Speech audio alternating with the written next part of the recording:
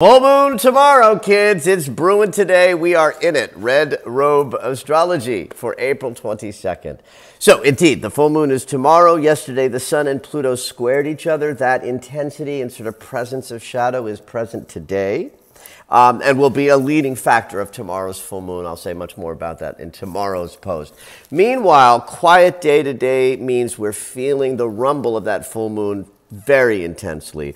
Um, the Libra moon will keep things relatively balanced and harmonious, except that the lunar aspects are all, all oppositions which force energy and inconjuncts which create forks in the road.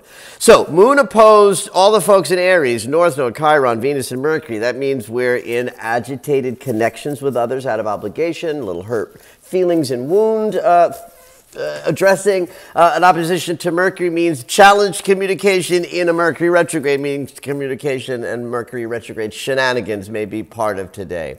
Forks in the road are uh, present today. Moon hitting Mars and Saturn in the inconjunct means we might have to make some choices because we got to do the right thing. Um, an inconjunct from the moon to Jupiter and Uranus might mean over the top sensations or having to do the right thing very suddenly. So look for forks in the road, things to try, like new approaches to old conflicts. That would be a sort of a theme for the day. Um, there's a very long void moon. It doesn't start until 4:23 p.m. Pacific time, so late in the day, but it lasts 16 hours until 8:19 a.m. tomorrow morning. So just keep that in mind. That long void up into a, a, full moon really want us to be in rest and stillness and um, trying to push out and do things in that void moon um, might be might leave you a little squirrely. And then the moon moves into scorpio tomorrow. We're in the full moon tomorrow afternoon pacific time. That energy is brewing today. It's an intense couple of days kids. Have at it